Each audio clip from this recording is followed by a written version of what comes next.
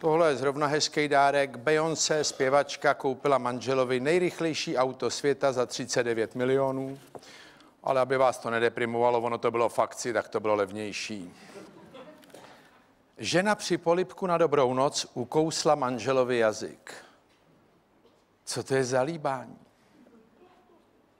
Ukousla při polipku na dobrou noc. Dobrou. Medvědi na Slovensku nespí popletlé počasí. No, to myslím, že už přešlo po tom sněhu. Tohle nebudeme. Prosím vás, teď v rámci uh, vánočních nákupů a je taková zvýšená konzumace potravin, tak pozor, žena našla mezi mraženými hranolkami chcíplou myš. Dávejte pozor. a tohle je pozoruhodný.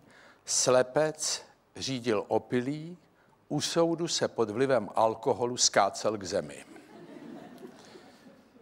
Má tady taková vánoční, téměř anekdota.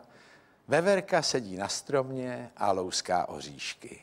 První oříšek stříbrné šaty. Druhý oříšek zlaté šaty. Třetí oříšek diamantové šaty. Veverka se rozpláče, schoulí se na větvičku a naříká, já se kvůli té pitomý pohádce nikdy nenažeru. tak. To by bylo všechno.